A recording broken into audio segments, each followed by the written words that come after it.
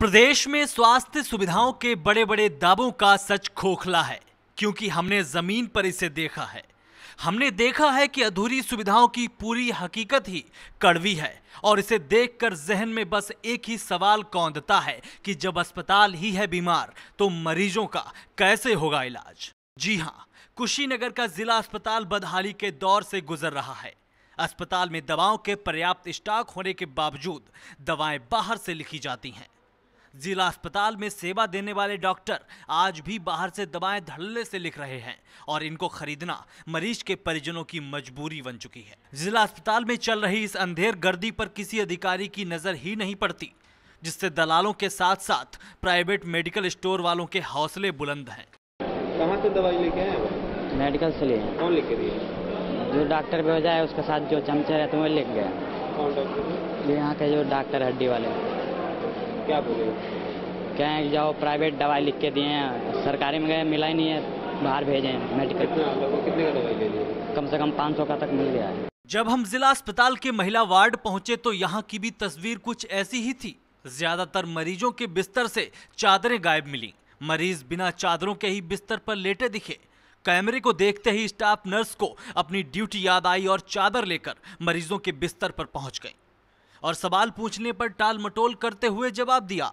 नहीं ऐसा नहीं। वो तो चार पाँच दिन कोई पेशेंट रहता नहीं है। दो दिन तीन दिन चार दिन पर कंडीशन छुट्टी हो जाती है। ऐसा कुछ नहीं। अभी हमारे आने के बाद आप चादर बिछा रहे कुछ नहीं ऐसा नहीं। वो छुट्टी वाला पेशेंट अस्पताल की बदहाली और बद इंतजामी का अंदाज़ा आप इस बात से लगा सकते हैं कि यहाँ पर सीटी स्कैन मशीन धूल फांक रही है। बेहद ज़रूरी और लाखों की कीमत वाली सीटी स्कैन मशीन बंद कमरे में पाँच सालों से धूल खा रही है। अगर ये मशीन चलने लगे तो यहाँ पर आने वाले उन मरीजों को इसका फ़ायदा मिलेगा जो बाहर जाकर अपनी जेब से प्राइवेट में सीटी स्कैन करवाते हैं। ये मैनुअल पावर जो है रेडियोलॉजिस्ट और उसके लिए ट्रेंड जो स्टाफ है वो जब आएगा तो मैं उसको चलवा दूँगा। अगर ये चल जाए तो क्या फ़ायदा हो सकता है? सीटी स्कैन के लिए मरीज़ को कहीं और नहीं जाना पड़ेगा हमारा सीटी स्कैन हो जाएगा। ये लगे हुए तो चार पाँच साल हो गया लगता है। जिला अस्पताल में तीन साल पहले शुरू किया गया आईसीयू वार्ड भी बंद है। सीएमएस आईसीयू बंद होने की बात तो मानते हैं, लेकिन डॉक्टरों की कमी और नर्सों की कमी होने की वजह से इस वार्ड को बंद करने के अलावा कोई और वजह न होने का रोना भी रोते हैं। कमी कमी नहीं है। सारा का सारा ठीक है उसमें।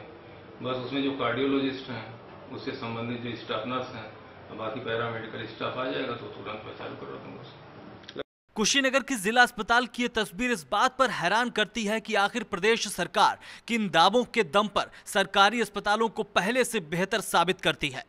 अब देखना होगा कि अस्पताल की बीमार हालत का सरकार क्या इलाज करती है और यहाँ बंद पड़ी सुविधाओं की सुविधा मरीजों को कब तक मिलती है।